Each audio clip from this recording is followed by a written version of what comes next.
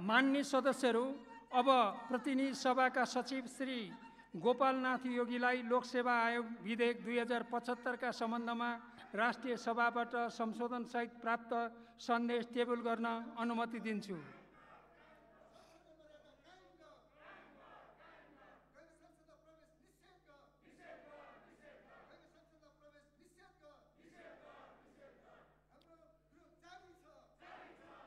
मान्य सदस्यहरू अब सम्माननीय प्रधानमन्त्रीको तर्फबाट मान्य कानुन न्याय तथा संसदीय मामिला मन्त्री श्री वीरेन्द्र प्रसाद पौडेललाई राष्ट्रिय समावेशी आयोगको तेस्रो वार्षिक प्रतिवेदन आर्थिक वर्ष दुई हजार सतहत्तर अठहत्तर पेस गर्न अनुमति दिन्छु।